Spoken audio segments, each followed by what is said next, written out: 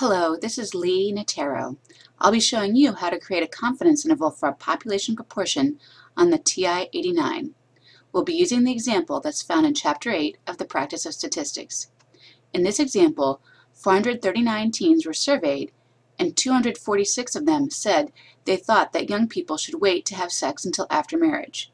Let's create a confidence interval to estimate the true population of proportion of teens that would say to wait to have sex until after marriage. To do this, we'll go down to Stat List Editor, hit Enter, hit second F2 to access the F7 menu here. Choose Option 5, One Proportion, Z-interval, and this gives us a template where we're going to enter our number of successes and our sample size and our confidence level. Our number of successes was 246.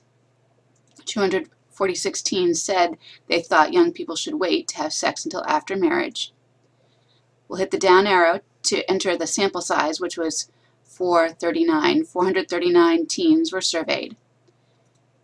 And the default here is 0.95. So we're going to create a 95% confidence interval.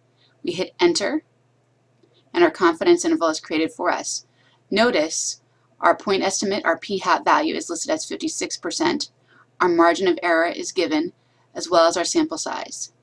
This interval up here at the top reads, I am 95% confident that the true proportion of teens that would say yes to this question that they think that young people should wait to have sex until after marriage is between about 51% and 61%.